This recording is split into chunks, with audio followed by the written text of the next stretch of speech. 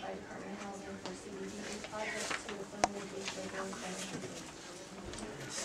Okay. Jonathan? So move.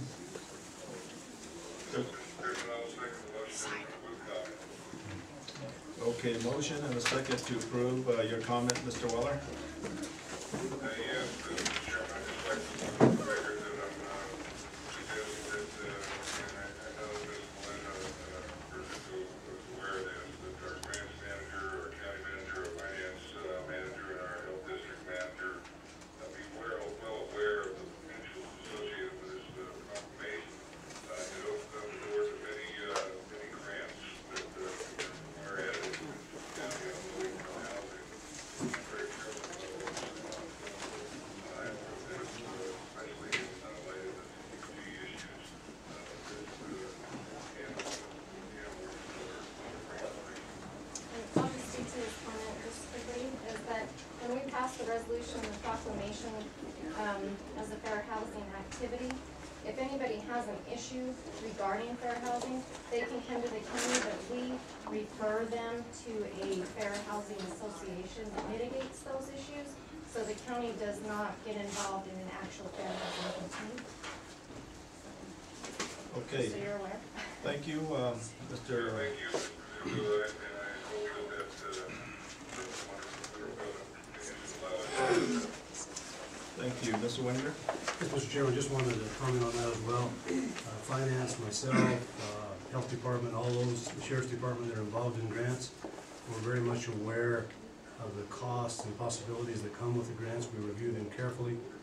We uh, work with our county attorney to make sure that uh, we have their approval as well. So we're very aware of the uh, sometimes baggage that comes with these grants, and we watch them carefully. Thank you. Okay, call for the question now. All in favor, say aye. Aye. Aye. Aye. Opposed? The ayes have it, three in favor, none opposed. Thank you, Marlene. Okay, let's move on to item eight, IT. Good morning, Mr. Chairman. Good board morning. members. Morning. This is Ben Dugdale, IT Director. Good morning, Mr. Weller. There was a contract approved with Tyler Technologies by this board on February thirteenth of two thousand twelve to implement, uh, software systems in the assessors and treasurer's offices. The, uh, part of the contract that was approved was for the Tyler e-commerce interface, which, uh, the treasurer has expressed concerns, uh, ropes her into one vendor for processing payment. Uh, and so, uh, because of that, uh, the treasurer is not interested in pursuing that package. And that, uh, she is also uh, interested in pursuing a package that interfaces with the superintendent of school system, the Visions software. Uh, So what we'd like to do here is exchange the e-commerce suite for the Visions suite. Uh, And the Vision suite is, uh, is uh, lower cost, so it's a one-time savings of a, just a little over six thousand dollars.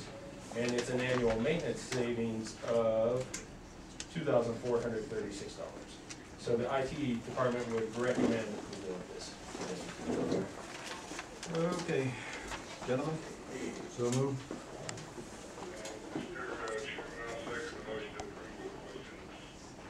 There's a motion and a second to approve. Uh, your questions, Mr. Weller? Uh, Yes, uh, my question is that there has been great discussion uh, during the development of this package and uh, associated uh, uh, parts of it uh, with respect to the ease of the public to utilize the system, uh, staff convenience, uh, and uh, reduce the the the other issues uh, that the treasurer's office actually brought up initially, um, being able for people to utilize, I think,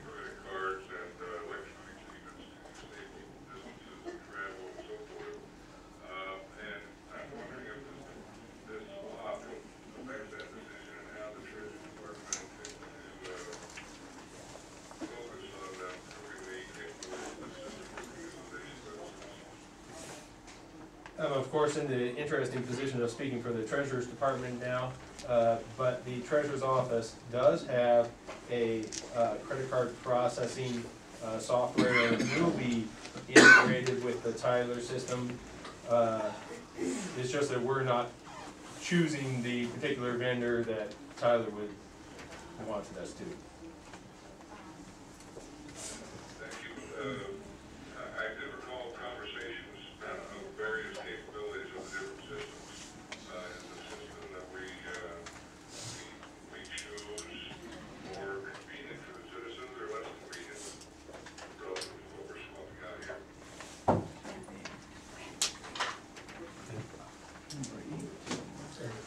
Uh, Mr. Weller, may I welcome uh, our treasurer uh, to speak to that question? Thank you. Good morning, Yate, Benish Mozani, this is Marlita, Mr. Shirley, Mr. Um, I'm glad you asked that question. Um, what we're talking about is point and pay. That's the system we're using right now. Prior to that, we were using official payment, which was, um, a week, um, posting payments like maybe a week later, but we swapped over to point and pay where it's like real time, where payments are posted automatically within twenty-four hours. So when, um, we got this contract with Tyler, we looked at their e-commerce and it was like going back to the official payment where reports are gonna be coming in a week later. So, um, meeting with Tyler and the IT team, and of course the assessor, um, our recommendation was to keep the point and pay and just implement some kind of interface. So, we're not making any changes, um, we're still focusing on customer service. Hopefully that answers your question, Mr. Weller. Uh, Fairly well, Ms. Gadd, appreciate that, but you stated that we would then need to develop some type of interface. Is that a cost to us later on? Um, they're actually working on it right now, and we did have ten thousand dollars set aside for the e-commerce. So to do the interface, they told us that there's not gonna be any charges. And they're already working with that right now, with, um, Point Pay, the vendor. Good, Tyler is working with that. Yes, yes, we're running with that, and the cost savings of the ten thousand dollars, um, the original contract with Tyler, the, um, superintendents, the school districts were not involved. So, um, we went back to the discussion table, and now we're getting the school districts involved, and then later on, maybe next year, we wanna get also the special districts on board and have one system to umbrella the entire county. All right, thank you. Okay, thank you. Okay, if there's no other questions, I'm gonna call for the question. All in favor to approve, say aye. Aye. Aye, Aye. opposed, the ayes have it, three in favor, none opposed. Thank you, gentlemen. Last item, finance presentation.